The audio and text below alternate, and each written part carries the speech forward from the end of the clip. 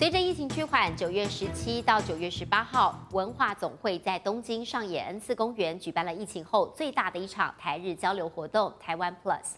有超过七十组的台湾品牌到东京设摊，吸引了日本的哈台族朝圣，单日入场人数就突破了十万人。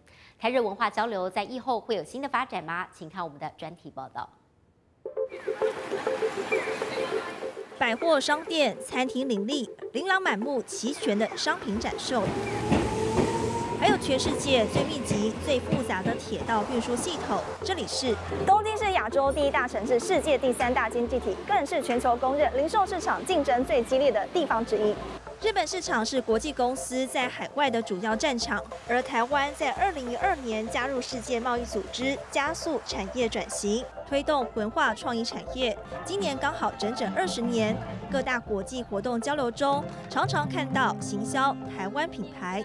台湾 Plus 二零二二台湾吉日，今天呢已经正式开幕，大家可以感受到非常原本的台湾味。大家看看，疫情后最大的一场台日交流活动，第三届台湾 Plus。由文化总会举办，因为疫情回违三年，有超过七十组台湾品牌在东京上野恩赐公园以市集方式设摊交流。除了小吃美食，更多的还是创意商品。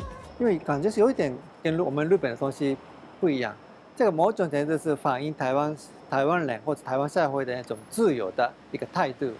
可能我们日本比较喜欢守规则，所以可能我们日本东西是都一种标准化。不过台湾的文卷是感觉是没有什么特别的标准，做的人是想要做什么就做嘛，所以现在在日本啊，大家都还开开始关注。台湾的文创。二零二二年，台湾发展文化创意产业迈入二十年。根据统计，台湾文化创意产业营业额二零二零年约有九千两百六十四亿元，比二零一九年成长百分之一点五四。其中，产品设计产业以外销为主力，而且多数是资本额未满五百万、员工数十人以下的微型企业。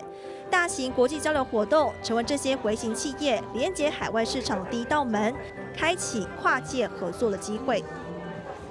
现在我手上这双布鞋呢，可以说是台日混血儿，它是来自日本的布料，跟台湾的设计师合作，在日本一年的销售量有大约两千双。这个品牌起源于台湾，但在日本大阪、京都等地进口布料到台中，由制鞋厂的手工师傅一针一线制作，在台日两地贩售。在日本一年大约可售出六千双，以小众品牌来说，已经有不错成绩。透过台日合作方式进军日本市场。这个品牌特色是就有花色的鞋子也有，还有日本的喜欢的这些那种赤色的鞋子也有，就是。其实这样的鞋子在日本非常特别的，因为日本的鞋子业界里面找不到这样很花的花色的鞋子。台湾的这个哦，嗯，牌子还是非常好。现在在日本就是打台湾的名号哦，就就本身就是一个名牌。根据二零二一年的台湾文化创意产业发展年报显示，二零二零年文化创意产业外销收入在疫情下仍逆势成长，比二零一九年成长百分之九点八三。长期关注台日关系的学者野岛刚认为，台湾文化创意产业在日本开始崛起，台流助攻是因素之一。因为日本近年掀起所谓的台湾潮流，甚至被称为后三一现象。那时候我们日本真的很感动。然后就开始发现，呃，哎，台湾怎么会那么喜欢我们日本？以前喜欢台湾的日本人基本上是年纪比较大的。不过三一的捐款呢，引起这个我们日本年轻人的一个新关注，所以是有一些可以说是点火了。他们有的喜欢是文啊，有的喜欢是台湾的电影。三一以后，日本社会对台湾好感度大增，进而想了解台湾，最后爱上台湾文化。其中以二十岁到四十岁这群具有经济能力的年轻族群居多，又被称为哈台族。Who loves the Taiwan, Taiwan, Taiwan culture and Taiwan music? Have you ever been to Taiwan? Yes, my sister studied in Taiwan. Yes, in Taipei. So I went. I have been twice. 根据交通部观光局统计，日本人来台人次在二零一九年九月份已经突破两百万人次，创历史新高。但随着疫情爆发，国门封锁，许多哈台族无法来台。像是从事百货销售业的伊藤朝香，截至疫情前的二零一九年，已经到台湾四十多次，平均一年来台四次。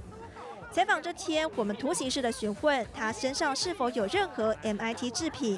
果然，他戴的耳环是充满台味的蓝白托造型，包包里拿出的是来自台北大道城的文创品牌。台湾のこういういわゆる文装って言われてるこういう文化、はいもものづくりとかも好きですか？好きですね。はい。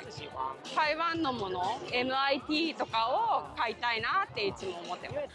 国情文化的差异造就创意产品的不同特色。台湾文创品牌在日本，不论是三一后的这十年所形成的后三一现象，还是台湾文化创意产业在酝酿二十年后展现爆发力。